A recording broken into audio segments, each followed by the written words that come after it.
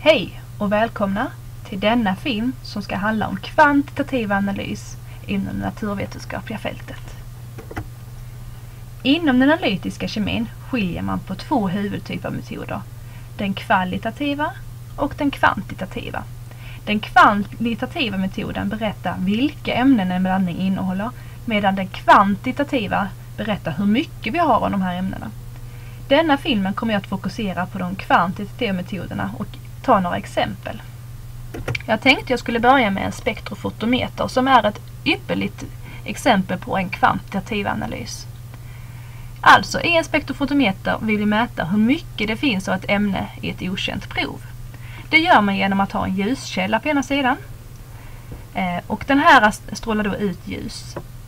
Det här ljuset kommer att färdas genom en monokromator vilket som kommer ställa in ljuset så att de bara strålar igenom på ett prov sen i en viss specifik våglängd.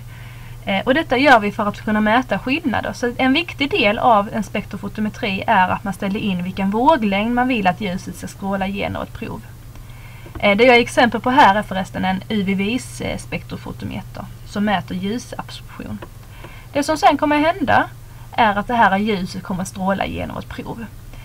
Och sen så kommer man mäta på andra sidan hur mycket av ljuset som egentligen kommer igenom. Och på så sätt så får man ett mått på hur mycket av det här ljuset som vårt prov har absorberat. Ehm, en dator sen kommer att räkna ut skillnaden. Man får ett absorptionsvärde. Alltså den räknar ut till oss hur stor andel av ehm, ljuset som absorberas av provet. Och man får då ett värde för provet. Och det här kan man nu använda men då måste man först och främst veta en del. Och det kan man göra genom att eh, göra en standardkurva. Det gör man genom att ta fram flera olika prover där man vet koncentrationen. Och så låter man dem genomgå den här spektrofotometrin. Man låter dem strålas igenom med ljus så att man får ut ett absorptionsvärde. Och då kan man genom de här kända koncentrationerna koppla dem till kända ljusabsorptionsvärden. Och på så sätt så får man ett, en relation däremellan som man då kan eh, synliggöra i ett diagram till exempel. När man sedan ska undersöka sitt prov där man inte vet koncentrationen så gör man på samma sätt. Man stoppar ner det i maskinen och mäter absorptionen av ljus.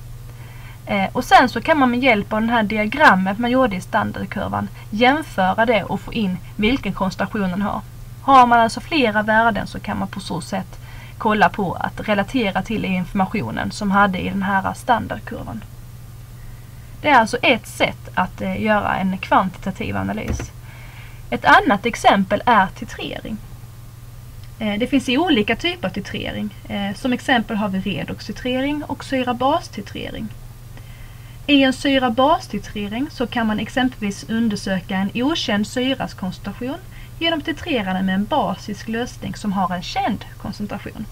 Man tillsätter basen till dess att man har ekvivalenta mängder av de båda lösningarna och att de har reagerat. Man säger då att ekvivalenspunkten har uppnåtts. Exempelvis så kan man tillsätta natriumhydroxid till saltsyra tills vi har pH7. Och då har man, säger man att de basiska och sura ionerna har tagit ut varandra. Vid den här ekvivalenspunkten när man har pH7 avläser man då hur mycket av basen vi tillsatt.